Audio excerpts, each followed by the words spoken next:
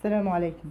نقل المغني القدير عبد القادر شاعو إلى مستشفى بالجزائر وحالته غير مستقرة. وكتب على صفحته على الفيسبوك أن حالته غير مستقرة وطلب من الأصدقاء الدعاء له بالشفاء. ويذكر أن شاعو جزائري ومؤدي موسيقي للأغاني الشعبية ولد في عشر نوفمبر واحد وأربعين في بستار عين نخشاشة بالجزائر.